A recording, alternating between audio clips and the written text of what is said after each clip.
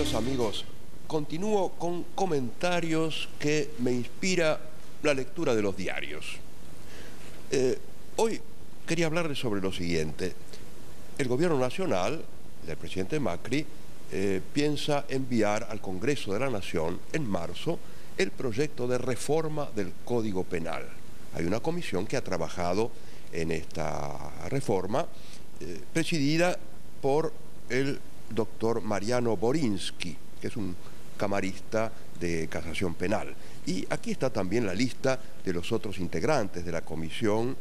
Eh, dice Carlos Mauricio González, González Guerra, eh, Pablo Nicolás Turano, eh, Carlos Alberto Maíquez, Patricia Marcela Llerena, Daniel Herbetta, Víctor María Vélez, Pablo López Viñals, Guillermo Jorge Jacobucci, Fernando Jorge Córdoba, Patricia Susana Ziffer y un representante del Ministerio de Seguridad y otro representante del Ministerio de Desarrollo Social. Parece que la reforma, el proyecto de reforma ya está pronto. ¿no? Según ha declarado el doctor Borinsky, que es el presidente de la comisión, este código servirá para, cito textualmente, darle a la sociedad un nuevo contrato social que contenga las nuevas modalidades delictivas. Bueno, nuevo contrato social. Esto me hace pensar al famoso contrato social ¿no? del periodo de la Ilustración francesa. Eh, bueno, también se dice que eh, en cuanto a medidas concretas de orden penal, la libertad condicional no se aplicaría para delitos dolosos cometidos con violencia, entre los cuales están abuso sexual agravado, trata de personas, desaparición forzada, terrorismo y, otros. Ahora bien, se incorporan los delitos de desaparición forzada de personas, de lesa humanidad y de genocidio. Pero resulta que este proyecto contiene la despenalización del aborto en, dice, en todos los casos en que se compruebe que el embarazo fue producto de un abuso sexual. Ya había sobre esto legislación provisoria, pero que quede en el Código Penal es algo, yo considero, definitivo, ¿verdad? Ahora bien, resulta que el asesinato de los niños por nacer no tiene nada que ver con la desaparición forzada de personas, con la lesa humanidad, ni con el genocidio todos sabemos que se está cumpliendo desde hace mucho tiempo, un genocidio sistemático en los países donde el aborto es no punible. Eh, ahora fíjense usted, yo un razonamiento tipo Doña Rosa, digamos, ¿no? Eh, ¿Qué significa esto? Eh, ¿Por qué hay que matar al niño por nacer? Claro, yo digo niño por nacer. bueno, es la evidencia científica, desde el doctor Lejeune en adelante, y digamos, antropológica, filosófica, ¿no? ¿Qué es el resultado de, una fecundación? Eh, ¿Qué es una cosa? Eh, ¿Es un objeto? ¿Es un animal?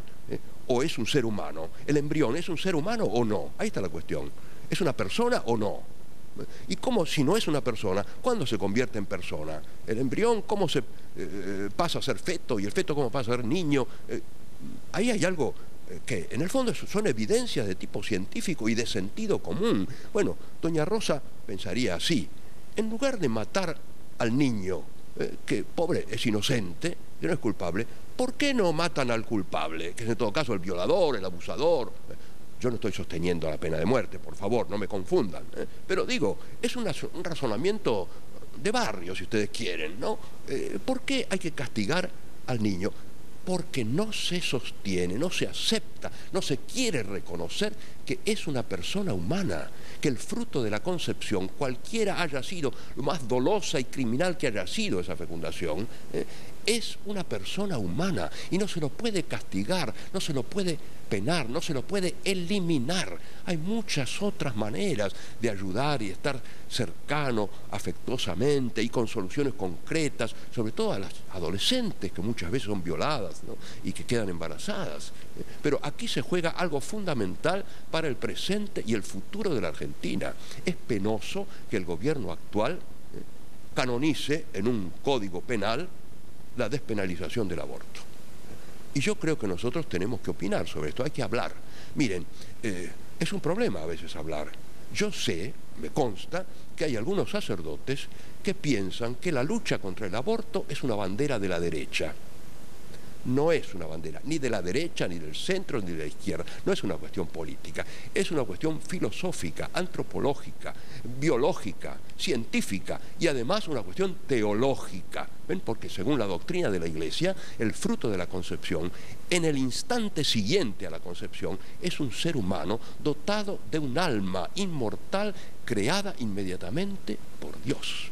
Entonces, sí, hay que luchar contra el aborto, hay que propagandear que esto no se debe hacer, que esto no se puede admitir, al mismo tiempo que tenemos que ayudar en todo lo posible a aquellas personas que hoy día eh, sufren de esta violencia, lo cual tiene que ver, como hemos hablado muchas veces con ustedes, con la situación de la familia, con eh, la prematura eh, experiencia sexual de los adolescentes, cada vez más jóvenes, cada vez más jóvenes, cada vez más chicos, con la difusión de la pornografía, etcétera, etcétera. Todo eso influye, sí. Todo eso masajea el bocho. Y las consecuencias son estas. El crimen, sí, el crimen es una consecuencia de esto. Bueno, hasta la próxima.